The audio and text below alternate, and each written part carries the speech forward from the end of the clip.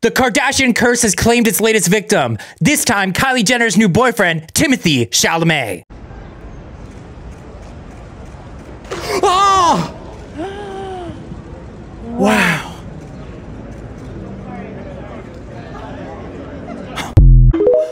And that twink is nothing but skin and bones, so he probably broke four to five ribs. And me and Gabby want to see the footage from that camera.